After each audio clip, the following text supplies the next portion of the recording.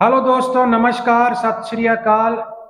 आज ऐसे रोग के बारे में जानकारी, जिसके कारणों में वात, पित्त, कफ, रुधिर, मेद, मूत्र और आंत, इन वेदों से सात प्रकार से इस रोग के कारण बनते हैं।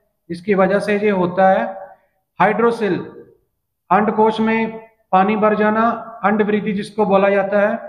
दोस्तों, इसकी वजह से जो रोगी है, मर्दाना ताकत खो देता है, मर्दाना ताकत में कमी आ जाती है।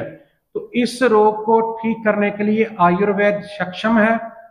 इसका एक मैं घरेलू उपाय आपको बताऊँगा, जो कि आप आसानी से कर सकते हैं।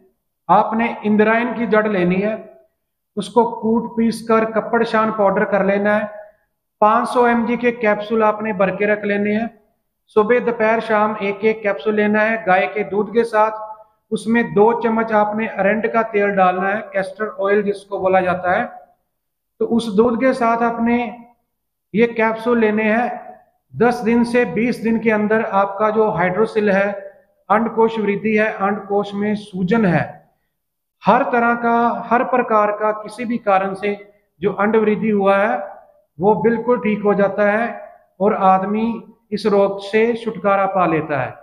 दोस्तों, आप भी इसको आजमाएँ और लाभ लें, अपने दोस्तों के साथ शेयर करें। तो दोस्तों, ये वीडियो कैसी लगी?